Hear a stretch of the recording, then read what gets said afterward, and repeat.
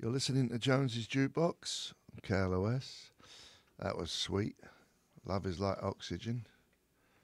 Then we started off with Foxy Jen. Fo- Follow the leader. Mm. Uh, Morgan Cable from GPL is with us today. That's JPL. Yes, that's JPL. Hello. How are you, love? I'm doing great. How are you guys? I'm good. I'm a bit tired today. Sorry to hear that. You should you should come direct direct it more. T- turn, Hello. turn the mic towards you a bit. There you go. All right. Oh, that does sound better. That's Thank better. I'm knackered today, so forgive me. No problem. That means tired Okay, good. in English terms. um, so, Jet Propulsion Lab. Is that up in Pasadena? Yes, sir. That's up in Pasadena. So you go there every day, I do. And, and what does your day look? Like, give us a reg- what does a regular day look like for you up there? Well, what it time do you varies a show lot. up? Eight o'clock. Usually around there, Yeah. between eight and nine, and but the work doesn't really stop when you leave. So I'll end up, I don't know, reading papers or, or working on a few things even when I go home at night. And what and what is a a, a, a usual day? What are you doing? You are trying to figure out how to uh, make things work, or Yeah, a lot of that, and trying to figure out what questions to ask. So a lot of my job as a scientist is trying to to figure out is there life on Mars? Could there be life elsewhere in the solar system or in the universe? And once we come up with those questions, try to figure out the best way to come up with answers yeah. to those questions. So what do you think? Do you think there is life on Mars?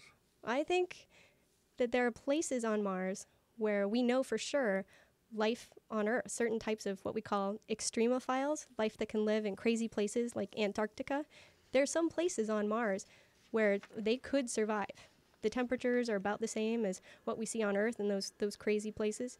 So there are certain kinds of life that could be there, and think- we're looking for them. Do you think there's any oceans up there? Oh, I know. Well, we have a lot of strong evidence that there are oceans out there, not on Mars, but on other places further out in the solar system. Yeah. There are a couple of moons around Jupiter and Saturn. We call them icy worlds because they have a lot of ice, but they also have a lot of liquid water. We've got some pretty strong evidence from a couple of spacecraft that we've sent out there.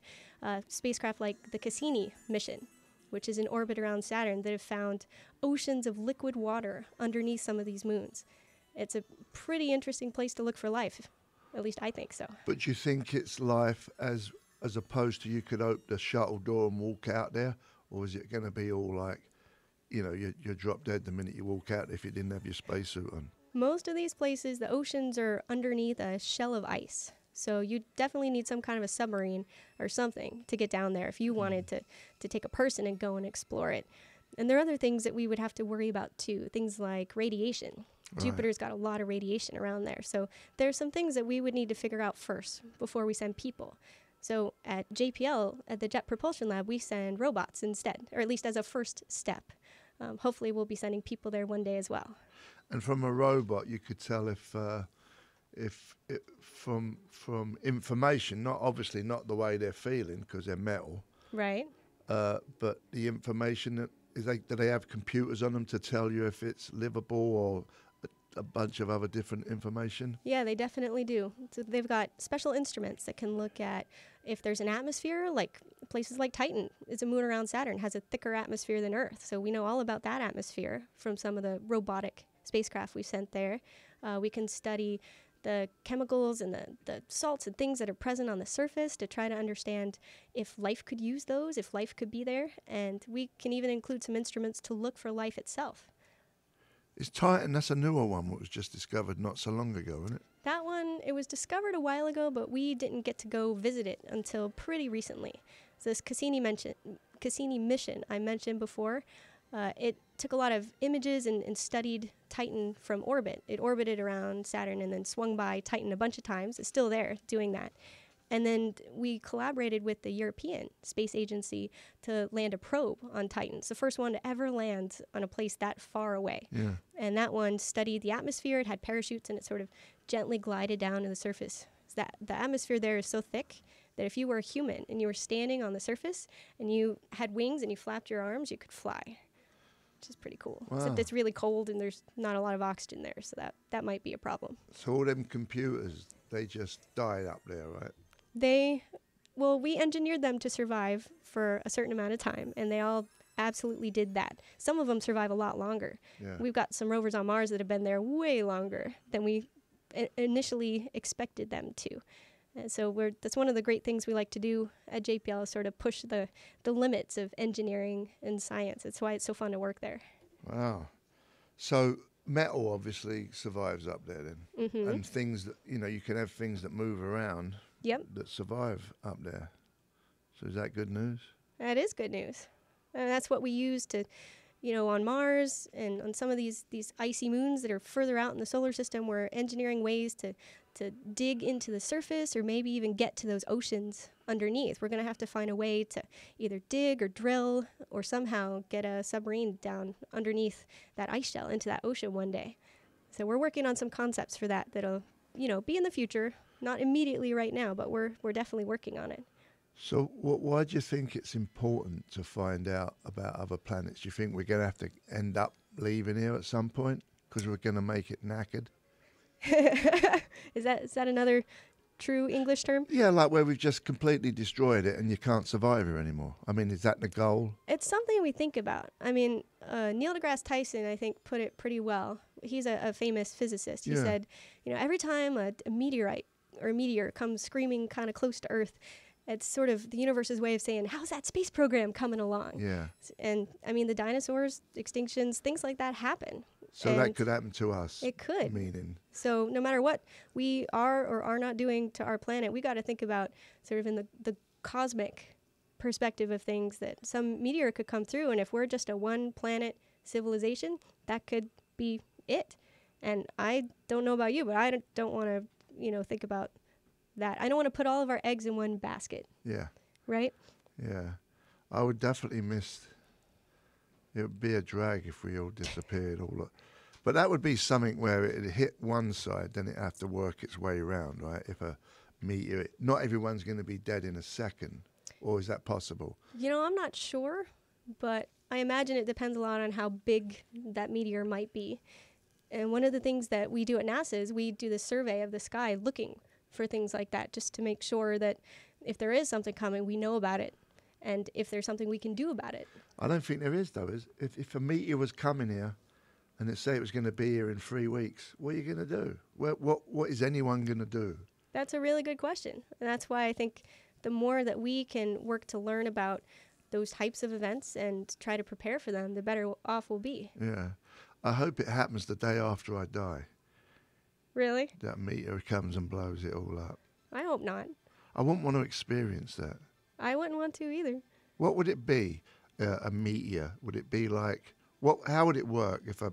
I mean, there's been meteors that, that have been dropped here, right? There's one in Arizona. Sure. That's obviously a meteor. That big one. It's a mile round, isn't it? Uh, that's right. It's called. What's it called? It's called. Uh, it's right in the middle of Arizona. I don't remember the name of that crater, but there are a bunch of craters. It's called. All over It's called something crater, isn't it? That's right. hmm But that. But that's a. Was that a small crater in comparison? You know, I I don't really know. I mean, I'm I don't study craters specifically. Yeah. I I study more life and and where life could exist and that kind of stuff. Yeah. But I imagine that one wasn't big enough to really be a bother. Otherwise, we wouldn't be here. Well, maybe that was the one.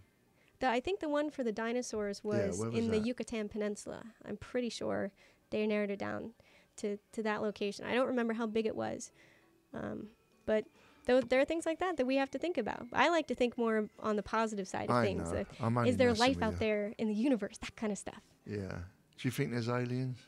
I think that the universe is a really, really big place. And one thing that we're learning is that even in our own solar system, there are other places like Mars or Europa or Enceladus, other moons where life could exist as we know it. So they So, sound like cars. yeah, Europa. What Oh, was yeah. the other one? It sounds like cars. They're named after uh, usually ancient Greek or Roman gods. Is that how you come up with the names from? Who comes up with the names from? there's a whole like committee, the international committee that comes up with all these sorts of names. And it depends on where you are. Like certain places will have themes. I know the the Pluto system, they have sort of a kind of a, a morbid sort of hell type theme. So there are things called Cerberus, which is that that's the giant three headed dog, and and Ceres and and all sorts of cool things like that all over in the solar system. That they're all their names come from people thinking, okay, well, what would be neat, and then they they sort of come to the committee, and the committee gives them a vote, yes or no. And I bet kind of a there's neat I bet there's some people who get into it. I want to call it this. No, I want to call it this. Well, you can't. I think the only rule is you can't name it after yourself. I think that's one rule. But if you wanted to name something after somebody else, you might be able to do that. What if you was Richard Branson and you put in a billion dollars to help? Could you get? His, could, could he name a planet after him? That's a good The question. Branson. I don't know. That's a real good question. But isn't there that website where you can name a star after somebody or something? I think. Name a star. Yeah. somebody. It's supposed to be really romantic. You didn't do that I haven't done any, that yet. any no. love in your life? Oh, well. no, I don't have love. you're welcome. You know, Valentine's Day is coming up in a few months. Yeah. Or Christmas. You could do that as a nice Christmas present. Ah. no, it's all right. I'll wait till next year. Okay. Are you going to do it? No. See? I think I would only do it maybe if I'd like if I'd found the star or had some personal connection to it. Then I might. What is a star? What is a star? I know you're looking at one, but what is a star up in the solar system? but um bum ching. Well, stars are it's like our sun. It's a mass of, of plasma and gas, usually really light stuff like hydrogen and helium, but over time those burn and and generate higher elements. So actually all of the stuff Carl Sagan was famous for saying this that we're all star stuff. All of the atoms in your body right now, Yeah. everything from the air you breathe to the, the carbon and the calcium that makes up your bones was all formed in a star somewhere in the universe. So everybody's a star. Everyone is, or at least a piece of a star. And could you land on a star? Mm, no, that they're really, really hot. So at you know nighttime, you could land at night. but But but they're big. They're big though, right? they're very large. yeah. Obviously different sizes because some you see bigger, or brighter than others. Or is that? Am I getting? No, you're exactly right. They range in sizes and in temperatures too. Some of them burn a lot hotter and a lot longer than others. Hmm. And so that's one thing that when we look for planets that might have life elsewhere in the universe, we seriously consider the star it's around. Because some of them, maybe they're really young and planets haven't had time to form in, in some of those solar systems out there. Or maybe the star's really old and it's kind of burning itself out. What if there was a civilization around a star that was about to die? What would it do? So we think about those things too. Yeah. Oh.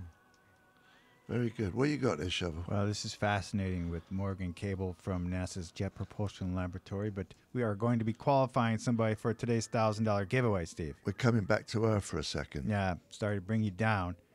Uh, we're going to take the 25th caller at 800 955 KLOS when they hear the signal. They- What what signals that, Mr. Shovel? Yeah, what's the signal? That's a si- it Thank can't you. be a space signal. That's a sig- That's it. No, pe- people are programmed to listen to that. Okay, That's, some right. of Jonesy's gaseous body. Yeah, that's my gas. Hey, my that's space all. gas. That's bacteria, right? Mm-hmm. That's all good stuff. We're looking for bacteria on other worlds. Yeah, microbes. Yeah. So we're going to give away Metallica's new album, Hardwired to Self Destruct, furnished by Q Prime, and then that person's going into the running for today's thousand dollars. All right. Are you in any rush, or are you going to hang around for a while? I am not in a rush. Because we're going to play some music and come back and talk to you again. That sounds great. Um, let's play some Rolling Stones. Not to be uh, typical, but 2,000 light years. Take it away, son.